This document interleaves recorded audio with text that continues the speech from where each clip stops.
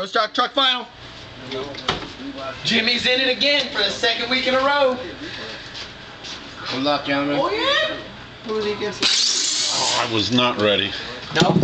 Well, 05 light. You had to be an 02 light.